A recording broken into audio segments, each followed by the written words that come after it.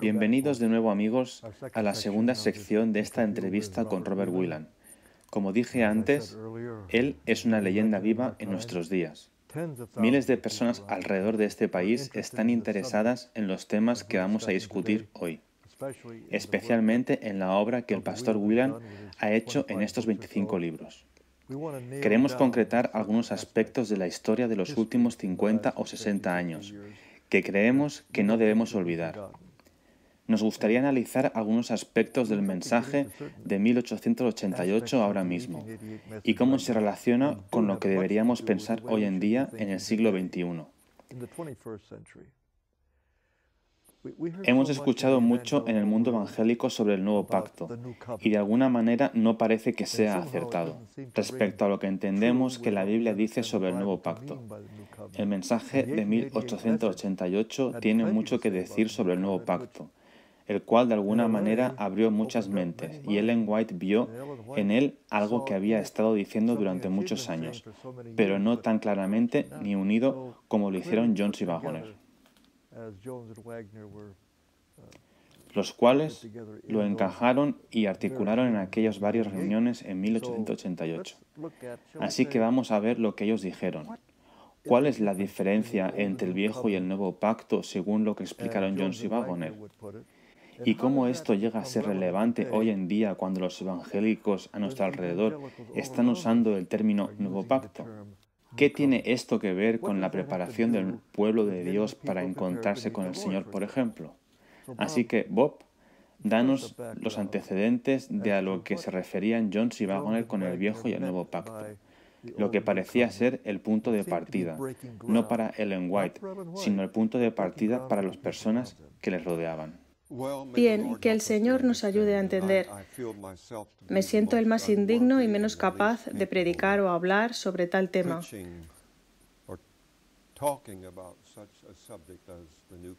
el del nuevo pacto, porque el nuevo pacto es la esencia misma del plan de salvación. ¿Y quién soy yo para hablar acerca de eso? Me alegra que mencionaras que debemos relacionar el mensaje de 1888 con el año 2005 o cualquiera que sea el año, hasta el tiempo presente de hoy. Me temo que algunas personas tienen la idea de que el mensaje de 1888 es historia antigua y agua pasada. O algo demasiado teológico para una mente normal. De hecho, el mensaje de 1888 no mira hacia atrás, mira hacia adelante. Amén. Lo que no pasó tiene que pasar todavía y pasará por la gracia de Dios. Bien, estaba estaba la idea del nuevo pacto. Esto me lleva a este mensaje, cuando tenía 22 años, y descubrí aquel libro, Las Buenas Nuevas. Por primera vez en mi vida empecé a entender de lo que hablaba Gálatas, y esta verdad, y esta verdad del nuevo pacto cautivó mi alma. La amo desde entonces, nunca me canso de ella, Después de todos estos años, puedo coger el libro Las Buenas Nuevas y leerlo ahora y está fresco de nuevo para mí, incluso hoy en día. El viejo pacto, por supuesto, es una promesa del pueblo. El nuevo pacto es simplemente la promesa de Dios. El nuevo pacto comenzó en el jardín del Edén, cuando el Señor hizo aquella promesa sobre poner enemistad entre la mujer y su simiente y la simiente de la serpiente. Y esa promesa de poner enemistad en los corazones humanos es el nuevo pacto, justo ahí, lo que Dios va a hacer.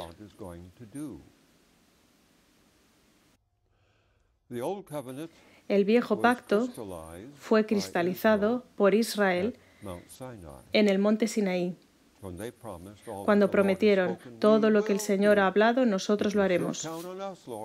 Puedes estar seguro, cuenta con nosotros, Señor. Somos un gran pueblo, muy fiel, guardaremos todos tus mandamientos, los cumpliremos. Era una promesa del viejo pacto. No hay nada malo en decirle al Señor que vas a obedecerle y que quieres hacer lo que Él dice. Bien, no hagamos la promesa que hizo Pedro cuando él prometió al Señor que nunca lo negaría. Esa fue una promesa del antiguo pacto al 100%. Y Pedro se cayó de bruces en unas pocas horas. El Señor no está esperando que le prometamos obediencia, porque Él sabe que no podemos mantener nuestra promesa. Puedes leer toda la Biblia y en ningún lugar, desde el principio hasta el final, que el Señor nos haya pedido que le prometamos hacer todo lo que está bien. Él nos ha pedido que creamos en sus promesas, que nos ha hecho a nosotros, y esta es nuestra parte. Y es por esto que la salvación no es por obras, la salvación es por gracia, a través de la fe. Lo que importa es el corazón, no conseguir una mansión en el cielo, para que el corazón sea reconciliado con Dios. Pablo nos ruega en 2 de Corintios 5:19 dice, "Os rogamos, reconciliaos con Dios." Ese es nuestro problema. Estamos alejados de Dios. Tenemos esta profunda idea humana. La mente carnal está enemistada con Dios.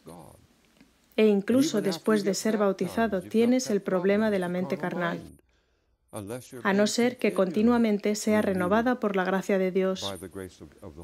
Necesitamos convertirnos cada día, pasar esa hora reflexionando en el Señor Jesús en oración.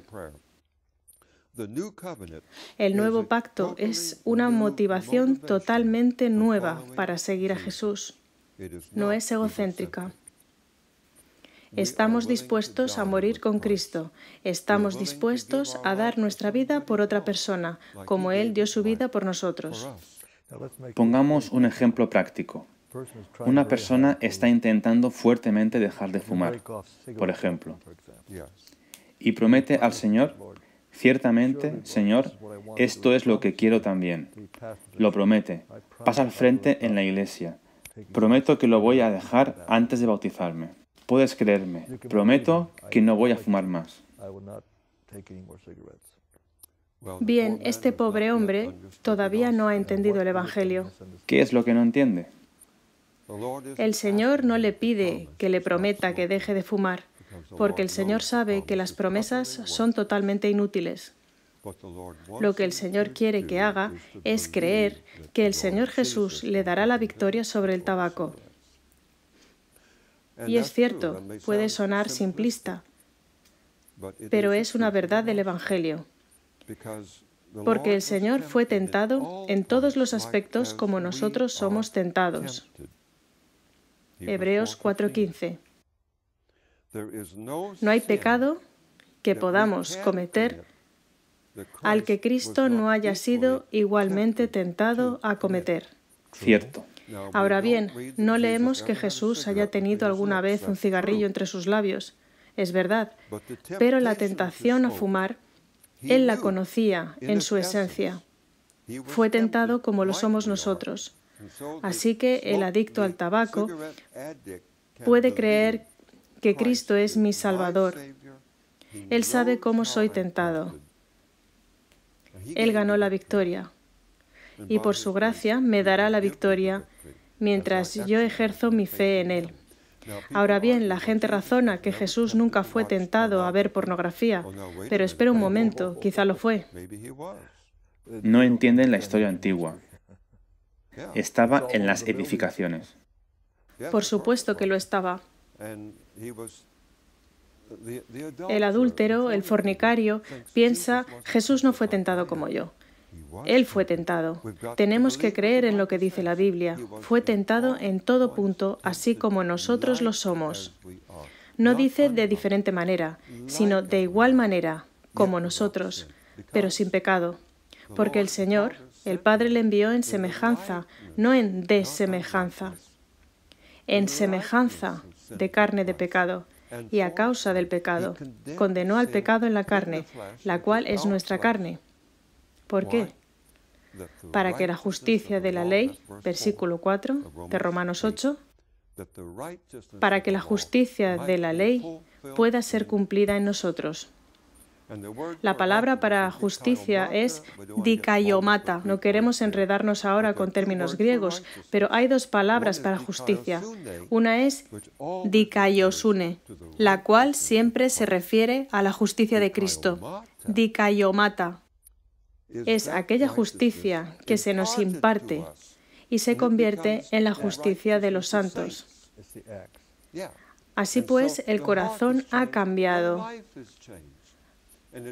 La vida es cambiada y es imposible haber sido justificado por la fe en el Señor Jesucristo a menos que estemos guardando todos los diez mandamientos de Dios. El mismo uso de esta palabra griega aparece en Apocalipsis 19, cuando la novia hace actos de justicia.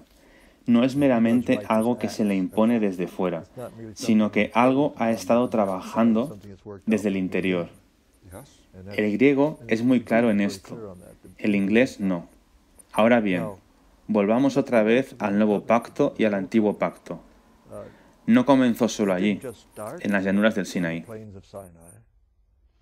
No, comenzó cuando Caín mató a Abel. Ese fue un viejo pacto. Muy bien. ¿Cómo ves esto? Son dos caminos para intentar complacer a Dios. Bien, Israel, eh, vayamos primero con Abraham. Abraham estaba bajo el viejo pacto cuando prestó oído a la sugerencia de Sara para que tomara a Agar como segunda mujer. Eso podría hacer que se cumpliese la promesa de Dios con ellos.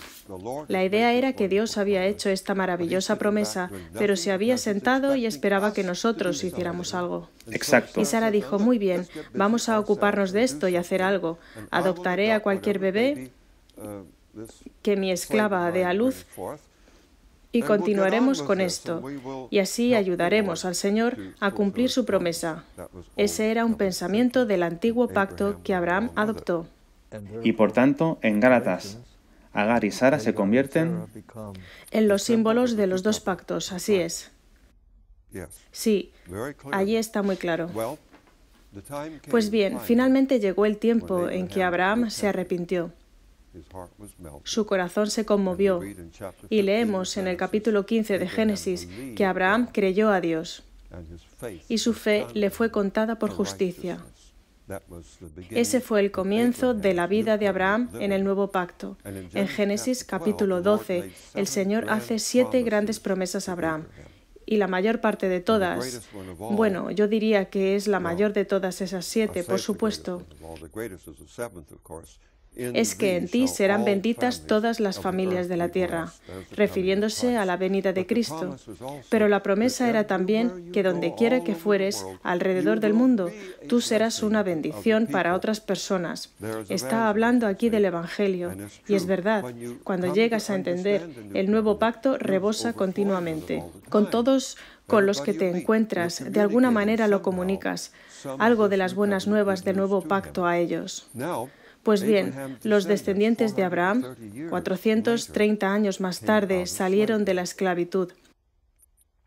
Llegaron al monte Sinaí y el Señor se propuso renovarles el mismo nuevo pacto que Él estableció con Abraham. Ese era el propósito de Dios. Y cuando lo lees detenidamente en Éxodo capítulo 19, la gente lo elude desgraciadamente porque eso no pasa en la traducción al inglés. En el versículo 7, vosotros visteis lo que hice a los egipcios y cómo os tomé sobre alas de águilas y os he traído a mí. Ahora bien, por tanto, a la luz de esto, si diereis oído a mi voz y guardareis mi pacto, entonces seréis mi especial tesoro. Pues bien, esto se entiende que significa, si guardas todos los diez mandamientos y haces todo a raja tabla, entonces haré de ti una gran nación. Sin embargo, el término hebreo para la palabra obedecer es exactamente la misma palabra que aparece en Génesis 2.15, donde lees que Dios puso a Adán en el jardín para guardarlo. Y la palabra guardar no quiere decir obedecer al jardín, eso no tiene sentido tenía que apreciar el jardín. Así que si apreciáis mi pacto, si apreciáis la promesa que le hice a Abraham, vosotros seréis mi especial tesoro sobre todos los pueblos, y si obedecéis mi voz, la palabra obedecer en hebreo significa realmente escuchar. De hecho, ambas palabras, en hebreo y en griego, para escuchar. Apacoe. Sí, da la impresión de inclinar el oído hacia bien abajo para escuchar lo que el Señor está diciendo o elevar el oído hacia arriba para escuchar. Bien, de cualquier manera, pero estás escuchando lo que el Señor dice. Esa es la idea. Así pues, esas dos cosas. Si escucháis mi voz y si apreciáis la promesa que hice con vuestro padre Abraham, seréis la mejor nación de la tierra. Seréis la cabeza y no la cola. Pero ellos lo giraron del derecho al revés, lo comprendieron mal e hicieron una promesa del viejo pacto. Al cabo de unos días rompieron esa promesa arrodillándose para adorar un becerro de oro. La historia de Israel desde entonces ha sido de subidas y bajadas continuamente. El antiguo pacto es una cosa maravillosa. Mantiene a las personas en línea a través de una motivación egocéntrica. Lo que significa que tienen miedo del castigo, sí, o quieren una recompensa. Y eso es lo que mantiene al mundo en marcha. Totalmente. Es el viejo pacto. Es así como apelamos a los jóvenes. Sí, así es. Y uno de mis problemas son las semanas de oración que se llevan a cabo en nuestros institutos y universidades, en las que el orador tan a menudo pide que den una respuesta del viejo pacto no entienden el concepto de 1888. Bueno, hay reavivamientos. Josafat, Ezequías, un maravilloso reavivamiento. Cosas maravillosas le ocurrieron a Ezequías. Fue el viejo pacto, completamente. Y después tenemos a Josías, bendito sea. Fue un hombre estupendo, Josías. Él quería que todo se hiciera correctamente, para agradar al Señor. y luego él rechazó la demostración viviente del espíritu de profecía, justo igual que nuestros hermanos hicieron en Minneapolis. No entendieron. El faraón, rey de Egipto, fue el portavoz de Dios. No me declares la guerra. Yo no tengo que guerrear contigo. Josías no lo escuchó fue a la guerra contra él y fue muerto. Jeremías lloró la muerte del rey Josías. Todos estos reavivamientos mantuvieron a Israel apenas vivo hasta la venida del Mesías. Ahora bien, nuestro amigo Paul Peno ha hecho algo interesante al comparar el nuevo y el viejo pactos a dos caminos que salen del jardín del Edén, de Caín y Abel. ¿Podrías ampliar esto? Bien, Jones y Wagoner tuvieron esta idea distintivamente diferente sobre los dos pactos. No son asuntos de dispensación. Exactamente. Aquellos que vivieron en los tiempos del Antiguo Testamento podían estar bajo el nuevo pacto si tenían esa fe como la que tenía Abraham, la fe del nuevo pacto, ¿entiendes? Y aquellos que viven en el tiempo del Nuevo Testamento pueden estar bajo el antiguo pacto si no entienden el Evangelio. Así que los dos pactos van en paralelo hasta el fin de los tiempos, y Paul Peno está en lo correcto. Estoy muy agradecido de que él haya comprendido el significado real de los dos pactos. Y en cada iglesia hoy tengo que pensar en eso cuando devuelvo mi diezmo, cuando cierro el viernes por la tarde.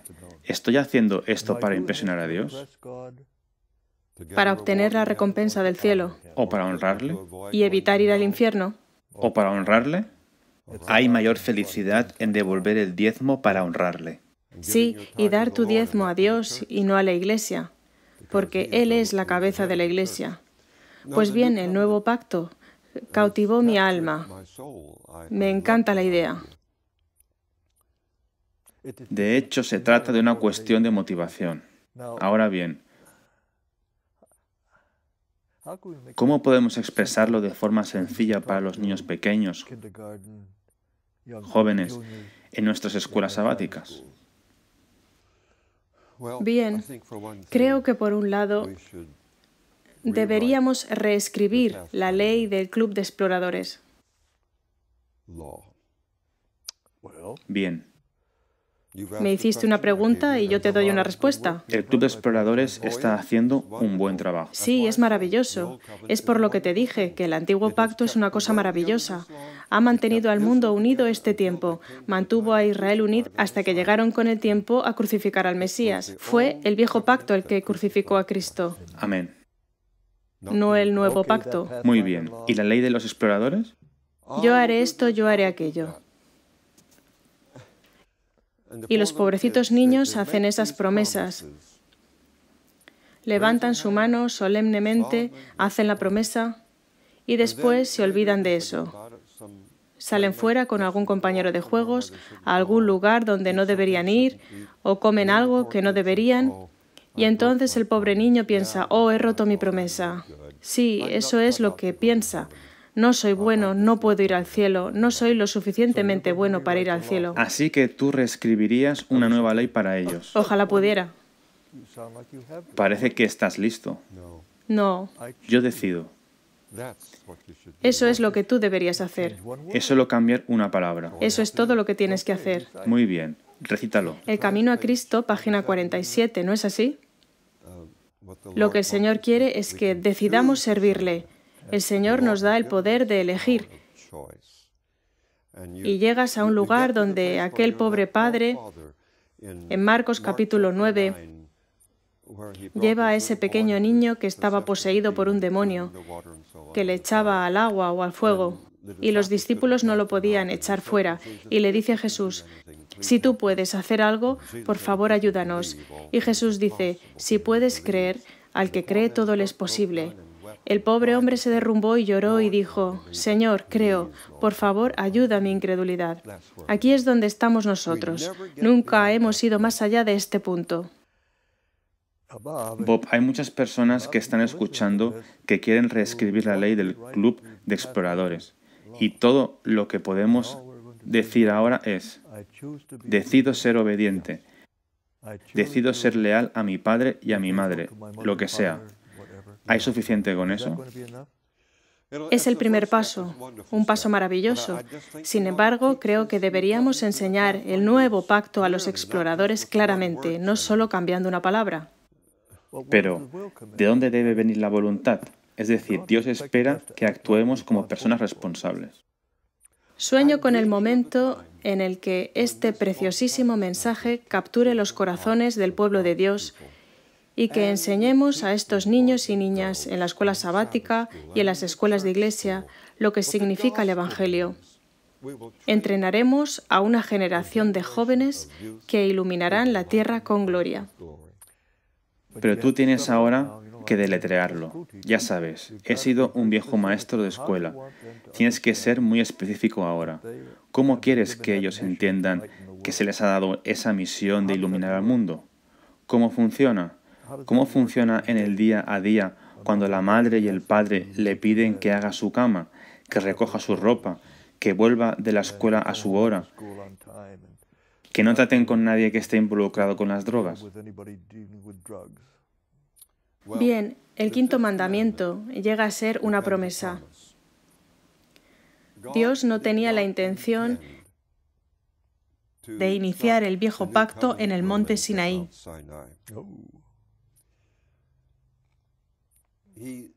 Éxodo 20 surgió solo porque Éxodo 19 se produjo. Nunca fue el plan original de Dios escribir los diez mandamientos en piedra. Su plan era revelarse en el monte Sinaí y escribirlos en los corazones del pueblo. Ese era el plan de Dios. Entonces, cuando los diez mandamientos son entendidos correctamente, eh, bien, déjame que retroceda a mi propia iglesia metodista de origen. Los niños pequeños memorizaban los diez mandamientos, lo cual es algo maravilloso que hagan. Y yo era uno de los mayores. Eh, me detuve solo para ver cómo lo estaban haciendo y vi que no estaban memorizando los diez mandamientos para nada, se habían dejado el preámbulo. y no llegas a memorizar los diez mandamientos hasta que no memorizas esa sección de promesa. Yo soy Jehová tu Dios que te saqué de la tierra de Egipto, de la casa de servidumbre. Pues bien, si vas a creer lo que he hecho por ti, te prometo que nunca robarás, nunca dirás una mentira, y guardarás el santo sábado, etcétera, etcétera. Así que el niño necesita comprender que el quinto mandamiento es la promesa del Señor.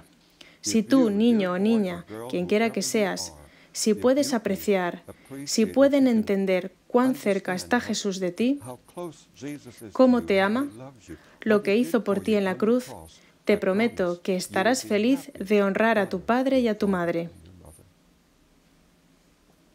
Es un juego totalmente diferente, una nueva manera de ver las cosas. Limpiar tu habitación, por ejemplo, si eres un adolescente, es algo horriblemente penoso de hacer. De hecho, es algo penoso para mí limpiar mi oficina a veces. A ver, explícame eso. Pero estos chicos y chicas, estas sencillas tareas diarias de limpiar tu habitación, ir a casa después de la escuela o no ver programas correctos en televisión, lo que sea, todo eso está combinado en el quinto mandamiento, honra a tu padre y a tu madre. Y Jesús ha prometido que lo harás. Si crees que te he sacado de la tierra de Egipto, fuera de la casa de servidumbre. Muy bien. Algunas veces hay una confusión cuando decimos que el nuevo pacto es cree y vivirás. Y algunos dicen, bien, obedece y vivirás, es el viejo pacto. Eso puede confundir a la gente. ¿Podríamos explicar esto? La idea, he pensado sobre esto, la idea de obedece y vivirás es susceptible de llevar a engaño porque apela a una motivación egocéntrica. Si tú haces esto y aquello y lo otro y lo demás allá, entonces tú puedes ir al cielo. Así que estás concentrado en tus propias obras. La idea de cree y vivirás no es solo la creencia. Mira que podría llegar a ser tan peligroso como algo que acabas de decir. No es solo creer en la filosofía de los evangélicos guardadores del domingo. Yo los amo, estoy hablando con cariño. Tengo amigos personales que son pastores que guardan el domingo. Por supuesto. Si estuvieran aquí sentados, lo seguiría diciendo, porque creo que deberían aceptar la verdad del sábado. Sin embargo, cree y vivirás no es una creencia evangélica. Sí, levanta tu mano, creo en Jesús. No, no. La definición de creer ha sido expresada por Ellen White de la forma más clara que yo haya visto, en un artículo del 24 de julio de 1888. No lo tengo memorizado, pero dice, puedes decir que crees en Jesús si tu corazón aprecia lo que le costó salvarte. Puedes afirmar eso si crees que Él te hace posible dejar de pecar y perfeccionar un carácter justo a través de la gracia de Dios. Esa es la idea. Ella está reformulando la palabra creer en contra de lo que la mayoría de la gente piensa. Es por eso que estoy diciendo cree y vivirás. Por eso es el nuevo pacto, una idea diferente de creer. Realmente digo esto porque en todas partes estoy seguro, porque permea el mundo cristiano hoy. Bien, yo creo en Jesucristo, que murió en la cruz. Pues bien, hay cientos de diferentes maneras de definir este sencillo término, y todas no pueden ser ciertas. Pero la palabra creer en la versión King James, de todos modos, prácticamente todo el tiempo no dice creer como nosotros pensamos que es creer, sino que es obrar por fe. Muy bien, tener fe el significado de fe va más allá de solamente creer que el Sol está a 150 millones de kilómetros de distancia. No tengo que tener fe en que está a 150 millones de kilómetros, pero puedo creerlo. La fe pide algo más que creer en Jesús, en la forma en inglés de usar la palabra creer, y también en alemán donde es tan mal utilizado. Por eso es por lo que esa idea La verdadera idea de justificación por la fe que el Señor en su gran misericordia nos envió en 1888 es tan desesperadamente necesaria en todo el mundo. Este es el principal punto de todo lo que venimos diciendo. Cuando dices justificación por la fe, estás usando un término que los reformadores utilizaron, que Wesley utilizó. Wesley no estaba de acuerdo con Lutero, amablemente, pero él no lo entendió plenamente porque no tenía el Evangelio eterno al parecer. Él no preparó al pueblo para la traslación y creía que cuando las personas mueren van al cielo o al infierno. Así que hay algo acerca de lo que Dios quería que una iglesia predicara después del Apocalipsis. En concreto, Apocalipsis 14, 6 y 7, después de 1844. Tenía que ver con completar algo que no había sido enfatizado durante dos mil años. Exactamente. Así que cuando hablamos de justificación por la fe, no estamos diciendo lo que otras buenas personas en la iglesia luterana o metodista están diciendo. He tenido esta lucha durante medio siglo o más de intentar convencer a mis hermanos de que la justificación por la fe genuina es mucho más de lo que Lutero y Calvino fueron capaces de predicar, e incluso Wesley en sus días, tan buenos como eran. Absolutamente. Y estoy teniendo dificultades para transmitir la idea correcta sobre la cruz, porque constantemente lo que vuelve es la idea y tenemos libros publicados por la Review y la Pacific Press. Por desgracia, sí. Intentando hacer lo mejor que pueden, supongo, que nos dicen una y otra vez que el mensaje de 1888 es lo que Lutero y los reformadores dijeron. Recuperamos algo importante. Salimos del legalismo. Sí, eso es todo al respecto. Así que adoptemos sus ideas, traigámoslas a casa y démosles lugar en el adventismo. Entonces, Bob Whelan, ¿de qué se trata la justificación por la fe tal y como surge de los mensajes de 1888? ¿En qué es diferente a la justificación por la fe de Martín Lutero? Número uno, lo puedo intentar.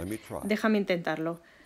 Porque me estás retando aquí y voy a intentarlo y hacerlo lo mejor que pueda. Número uno, Implícito en esta idea de justificación por la fe es la comprensión de que la muerte que Cristo murió en aquella cruz fue la segunda muerte. Esta verdad llega a ser posible de creer solo si abandonas, solo si abandonas la doctrina pagana papal de la inmortalidad natural del alma. Ese es el primer paso. Número dos es la comprensión de que el Hijo de Dios, al tomar sobre sí mismo nuestra naturaleza humana, tomó la naturaleza pecaminosa caída de Adán después de la caída. Y por lo tanto, Cristo fue tentado en cada punto como lo somos nosotros, pero sin pecado. Pues bien, esta verdad es sin ninguna duda importante, porque la teoría de la naturaleza no pecaminosa es de hecho pagana y papal en su origen. Es la doctrina católica romana de la Inmaculada Concepción. No hay duda. La cual confunde a una gran cantidad de personas. Y esos colores eh, es como la niebla que oculta las cumbres nevadas de las montañas de forma que no puedes verlas, ¿entiendes? No puedes visualizarlas. Esta doctrina de la inmortalidad natural del alma nubla toda la idea de la justificación por la fe. Muy bien, estás creando una escena, un fondo que se debe observar para comprender lo que realmente quieres decir. ¿Qué es lo que realmente quieres decir? En cuanto a cómo me afecta eso a mí personalmente. ¿La justificación por la fe es solo un eslogan o es una manera de describir cómo llego a ser el tipo de persona que hemos explicado antes, que sigue la verdad a donde quiera que lleve? ¿Y Dios puede salvar a esa persona porque puede confiar en Él con vida eterna? No volverá a revelarse otra vez. ¿Cómo la justificación por la fe, como un tipo de eslogan, encaja aquí de forma que hace de mí ese tipo de persona? ¿Cómo puedo llegar a ser justo por la fe? Porque el yo está crucificado con Cristo. Es por eso. Muy bien. Has llegado a unirte íntimamente con Jesús. Esta es la experiencia de la fe. Sí. Y esta intimidad es tan estrecha como la de la novia con su esposo. Y es por eso que Apocalipsis 19 lo pone de manifiesto en los versículos 7 y 8. Su novia se ha preparado, lo que significa que finalmente es un cuerpo de personas en la tierra que en 6.000 años han llegado a comprender de forma madura lo que es el Evangelio eterno, cómo te transforma desde lo más profundo y llegas a ser como Cristo, no con la finalidad de ir al cielo, ni siquiera estás preocupado sobre ir al cielo, sino porque quieres honrar a Cristo, así como esa novia quiere honrar a su esposo. Bien dicho. Ahora bien, ¿cómo estas palabras teológicas que Pablo nunca usó, imputar, impartir, justificación por la fe, él usó ese término. Justificación por la fe está ahí. ¿Cómo lo usa él en correlación con la justicia por la fe? Es lo mismo. Exactamente. Por tanto, estamos hablando de algo más cuando decimos justificación por la fe, de lo cual habló Lutero muy claro, pero él no entendió la justicia por la fe, ¿verdad? Correcto. ¿Cuál es la diferencia entonces entre justificación y justicia por la fe? Bien, la comprensión de 1888 de justificación por fe es refrescantemente diferente de lo que se entiende comúnmente en nuestras iglesias. Lo que se suele entender es que la justificación por la fe es una declaración legal de que Dios hizo hace millones de años luz en algún lugar y mientras que tú fuiste pecador, malo y no convertido, y ahora te conviertes, y de repente Dios declara ahora que eres justo. Esto es lo que se entiende comúnmente. La comprensión de 1888 es que la justificación por la fe es un cambio del corazón, un cambio de vida. La declaración legal fue hecha en la cruz. Por eso Jesús, cuando murió, gritó, consumado es. Él extendió sus brazos a toda la raza humana. La totalidad de la raza humana fue legalmente justificada por el sacrificio de Cristo. Esto es lo que hace posible para Dios la luz del sol a los justos y a los injustos. Eso es lo que lo hace posible. Lo que hace posible que cada hombre respire. Él está vivo porque Cristo murió por él, lo sepa o no lo sepa. Es un hecho. Legalmente se cumplió por el sacrificio de Cristo. Él dio vida al mundo. Ahora bien, cuando el pecador oye esta buena nueva y su corazón responde, y como Ellen White dice, que él aprecia lo que le costó al Hijo de Dios salvarle, y su corazón se une al corazón de Jesús y se convierte. Entonces él experimenta la justificación por la fe, un cambio de corazón y de vida. Conforme. Hay una página en Testimonios para los Ministros que probablemente comenta mejor todo esto en un solo párrafo. Déjame encontrarlo. Está en las páginas 91 y 92. En su gran misericordia, el Señor envió un preciosísimo mensaje a su pueblo por medio de los pastores Wagoner y Jones. Este mensaje tenía que presentar en forma más destacada ante el mundo al sublime Salvador, el sacrificio por los pecados del mundo entero, no solo por los de los santos. Presentaba la justificación por la fe en el garante. Invitaba a la gente a recibir la justicia de Cristo, que se manifiesta en la obediencia a todos los mandamientos de Dios. Aquí es donde vamos más allá de lo que los reformadores dijeron. Correcto. Es solo Biblia. Esto muestra que el mensaje de Lutero no era el fuerte clamor del mensaje del tercer ángel. Va mucho más allá el mensaje del tercer ángel. Por supuesto, tratando de hacerlo más sencillo. Cuando decimos justificación por la fe, estamos hablando del maravilloso don que Dios nos da. No solo perdón, sino también poder. No solo justificación, sino también santificación. No solo justicia imputada, sino también impartida. Es todo el paquete para que la gente se prepare para encontrarse con el Señor. Es una experiencia que empieza, pero no acaba. Así es. Si no fuera por 1888, probablemente no nos hubiéramos centrado, incluso hoy, en la impresión de que Dios quiere que hagamos algo especial con la gente, algo que se tiene que hacer antes de que Él vuelva. Se tiene que hacer y se hará. O de otra manera, Apocalipsis 7 no se cumpliría.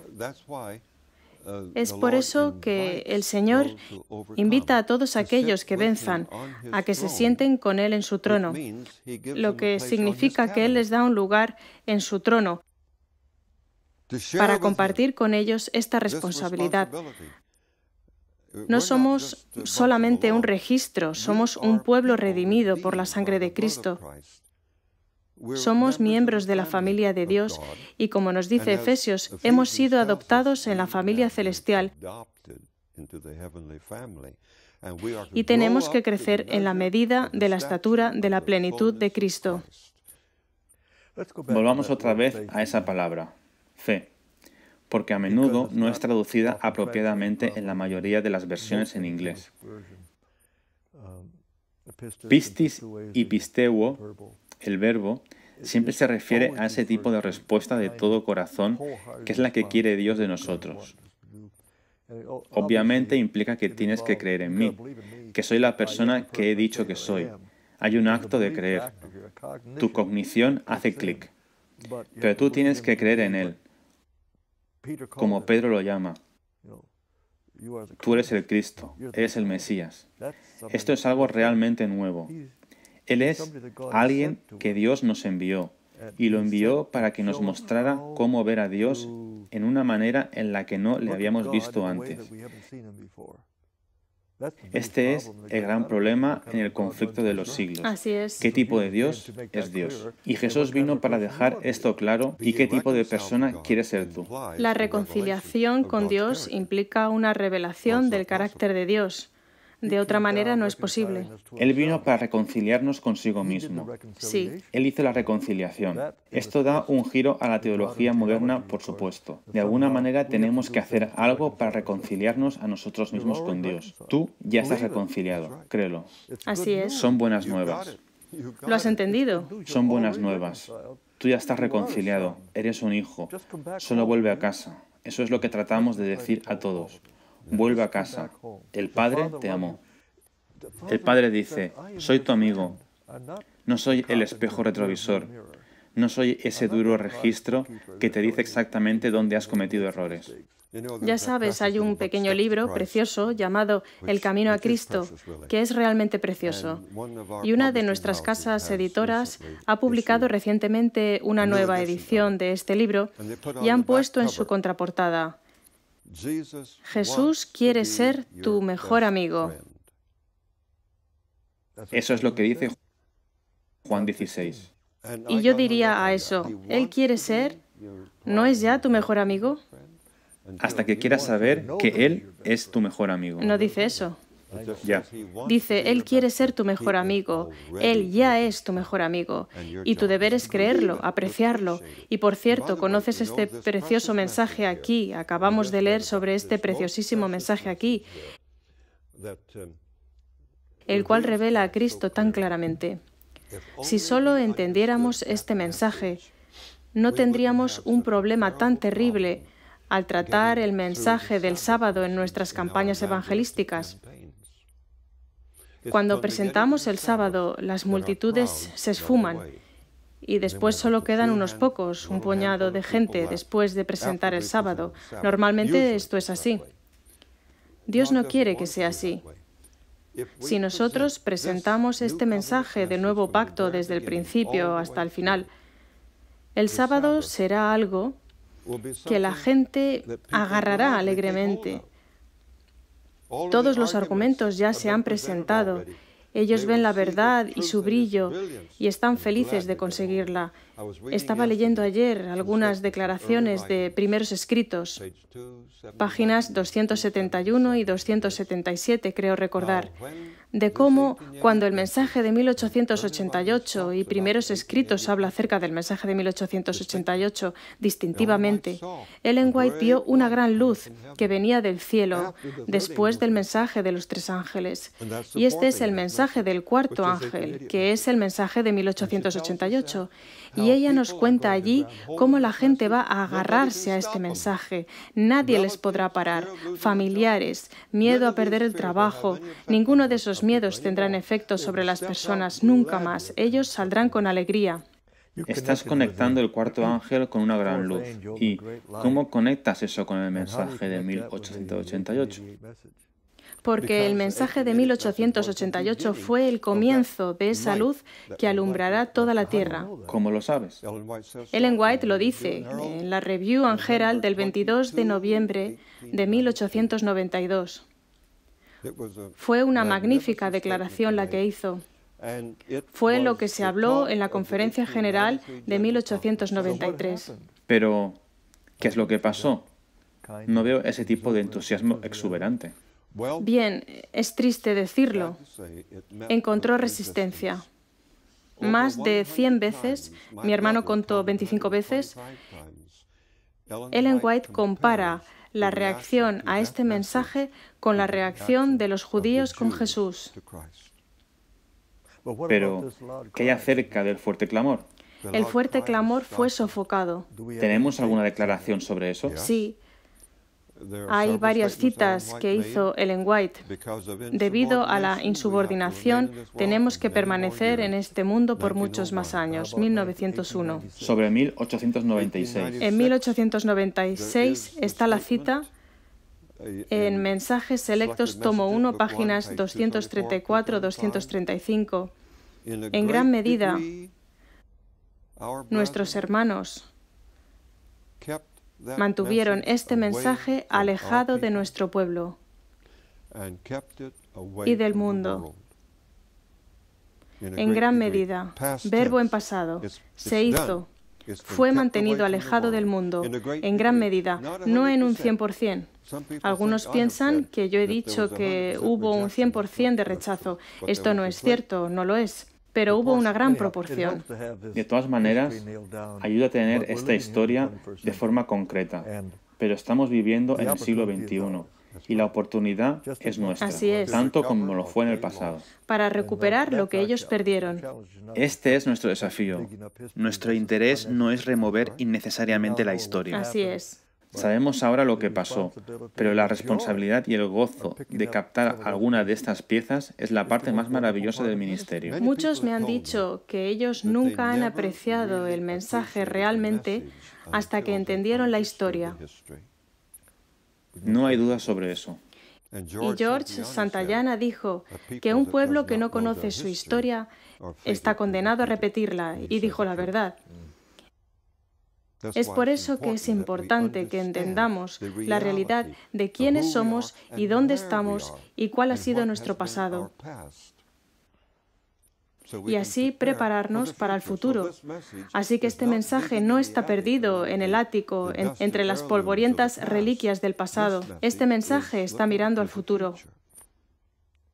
Si esto significa la diferencia entre una manera de verlo triste y legalista, y muchas personas buenas, tan legalistas como pueden ser, han hecho mucho bien para esta iglesia y para el mundo. El antiguo pacto es algo maravilloso, en muchos sentidos. Hay mucha gente que lo ha hecho posible. De hecho, han dado mucho a la iglesia adventista. Nos han dado una enorme cantidad de dinero por caridad pero muchas de esas personas que dan dinero no tienen gozo en su corazón. Sin embargo, lo dan porque piensan que es su deber. A mí me parece que el gozo de la salvación les está ayudando a ver que hacemos esto para honrar a Dios. No hago las cosas por norma porque creo que no debo hacerlo. Debes decir a la gente quién es Norma. Mi mujer. Muy bien. Lo hago porque así la honro y nunca logro hacer lo suficiente por ella. Nunca siento que haya hecho más de lo que debería hacer. Ese asunto de que el matrimonio es al 50% es ridículo. Es un concepto moderno, ya sabes, que la gente usa para que funcione así su matrimonio. El mío es al 100%. Sabes, de hecho estás hablando del nuevo pacto. Por supuesto que sí. Es el gozo de tu vida. Nunca logras hacer lo suficiente para honrar a la persona que amas es creyendo en cuánto te ama Dios, creyendo en sus promesas. El corazón es enternecido y en consecuencia la vida entera es cambiada. Pero el creer con la cabeza tiene que estar conectado con la fe del corazón. Esa osadía para decir, quiero seguir lo que conozco sobre Dios y quiero ser alguien que no vuelva a dudar otra vez. Bien, el plan de Dios para el evangelismo, ya sabes que hemos hablado mucho sobre el evangelismo y es maravilloso, queremos ganar almas. Um, queremos ayudar al drogadicto, a la persona adicta a los cigarrillos o cualquier adicción que una persona tenga, y hay muchas adicciones. El plan de Dios es que el Evangelio eterno rompa con todas estas adicciones y libere a la gente. Este es el plan de Dios. Y el poder de Dios es el Evangelio. Romanos 1.16. No me avergüenzo del Evangelio, dice Pablo. Es el poder. Y la palabra en griego es dunamis, de la que deriva la palabra dinamita. Hay poder en la verdad. Jesús dijo, conoceréis la verdad y la verdad os hará libres. Por lo tanto, es importante que proclamemos la verdad del Evangelio. ¿Cómo dirías en una forma resumida, en una o dos frases, cuál es el propósito del Evangelio. El propósito del Evangelio es poder de Dios para la salvación. Es una frase y es suficiente. Romanos 1.16. Pero no es el propósito, es la manera como funciona. El poder de Dios para salvación. El Evangelio desengaña a nuestras mentes de toda la oscuridad de creer en las malas nuevas. El Evangelio nos revela la luz del sol del carácter de Cristo. Revela lo cerca que Él está de nosotros, Aquellos niños y niñas de los que preguntaste antes necesitan darse cuenta de lo cerca que está Jesús de ellos. Entonces, ¿cuál es el propósito de todo lo que estás diciendo de forma tan maravillosa? ¿Cuál es el propósito? El propósito es reconciliar los corazones apartados con Dios y así prepararles para la traslación y así prepararles para hacer posible el fin del gran conflicto entre Cristo y Satanás. Creo que estás diciendo que el propósito del Evangelio es la restauración. Sí. No solo el perdón, sino también la restauración. Así es. Es algo muy sencillo. Ser reconciliado con Dios hace al creyente obediente a todos los mandamientos de Dios. Eso es lo que leemos en este libro. Como el propósito del Evangelio, la restauración de los hombres y las mujeres, deshaciendo cualquier estado en el que hayan caído o nuestra loca forma de pensar y todo lo que el pecado nos ha hecho.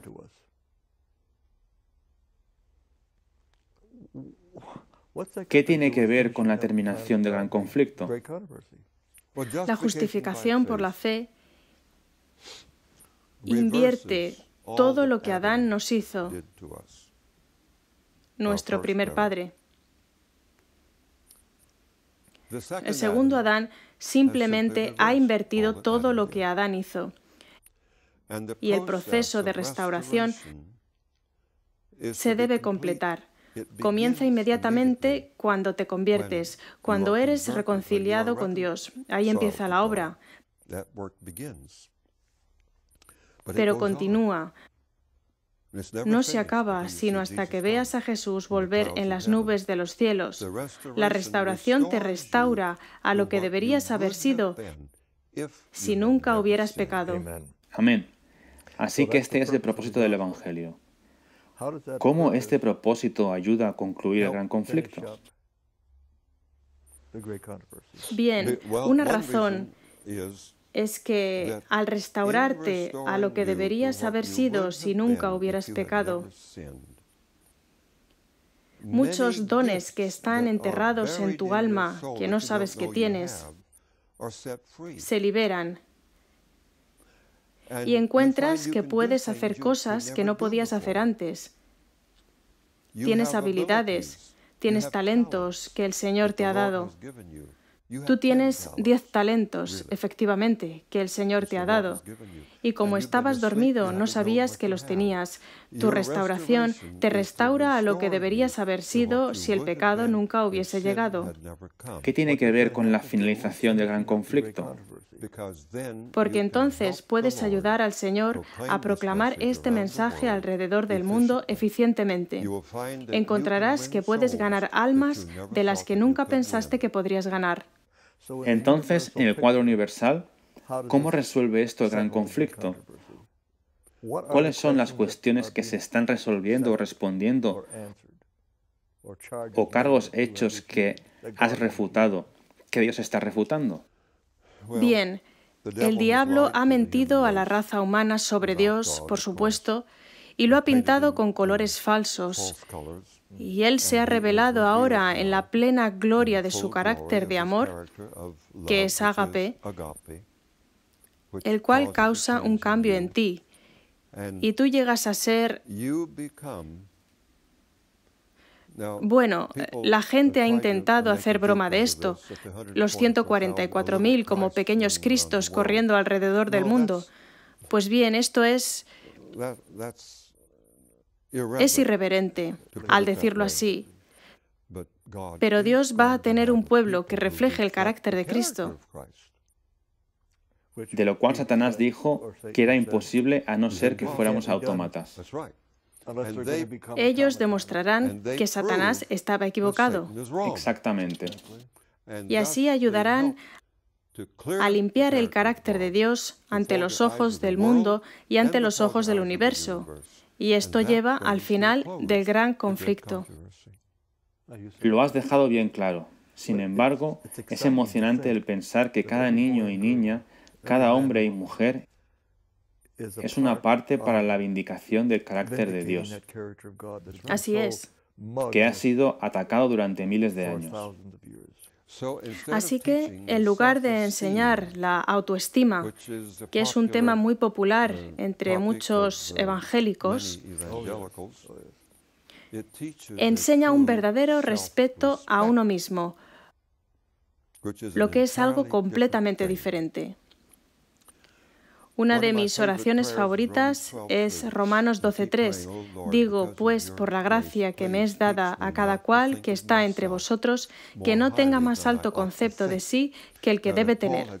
Ahora bien, si Pablo se hubiese parado ahí escribiendo Romanos 12.3 y hubiera puesto un punto ahí, estaríamos por los suelos todo el tiempo.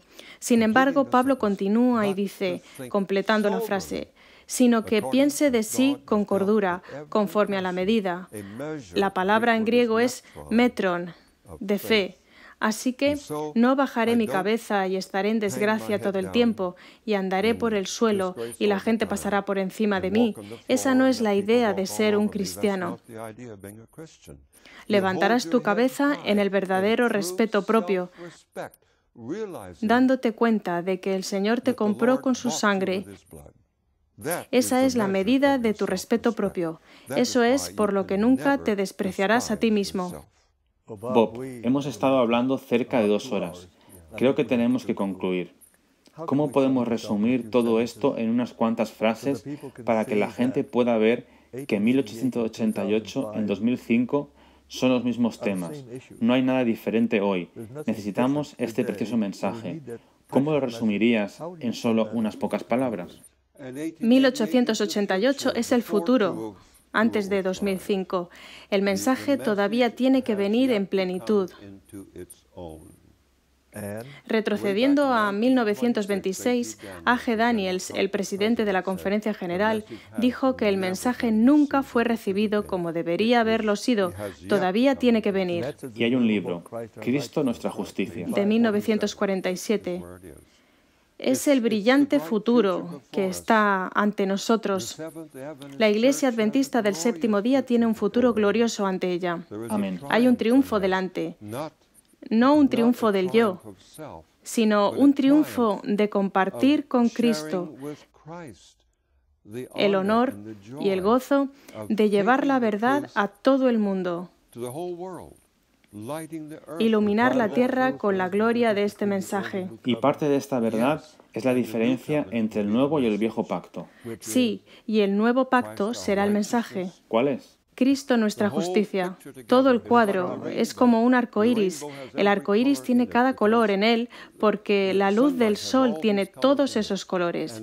Y el mensaje de 1888 abarca los colores, las verdades que componen el mensaje del tercer ángel en verdad. Pero en una sencilla frase pero va a ser tan sencillo y claro. Va a reconciliar a los corazones sinceros con Dios. La diferencia entre promesas y decisiones. Correcto, es parte de ello. La diferencia entre saber que no estás solo, que Jesús conoce cada tentación, cada miedo, cada ansiedad que tienes porque Él soportó cada una de ellas. Lo cerca que está de ti. Así que cuando ruego al Espíritu Santo, necesito ayuda, necesito entender lo que estoy diciendo aquí. Él tuvo que orar la misma oración y te va a decir a través del Espíritu Santo lo que el Espíritu Santo le dijo a él cuando él atravesaba la misma prueba. Exactamente. Te llegas a unir a Cristo y tendrás su experiencia. Demostrarás que eres un miembro de la familia de Dios. Algo pasará en las familias, algo pasará en las iglesias locales, algo pasará en la comunidad cuando las personas así realmente lo perciban. Así lo creo. Y es por eso que me encantó nuestra reciente lección de escuela sabática, que nos recordaba lo que Efesios dice, de que hay un mensaje que tiene que nacer al universo a través de la Iglesia y por la Iglesia. La Iglesia es el plan misionero de Dios para este mundo. Es la importante entidad del cuerpo de Cristo. Si no le representamos correctamente, la Iglesia ha fallado en su deber. Exactamente. Ha sido un placer hablar contigo, Bob. Ha sido un gozo hablar contigo. Agradezco a Cristo que hayas estado puntualizando tanto. Ha sido un placer. Me has puesto en una zona caliente aquí. Y espero no haber dicho nada que no debiera pero te he abierto mi corazón, me has hecho preguntas y he tenido que decirte lo que creo. Y creo que todos han visto a un hombre sincero en acción. Eso espero.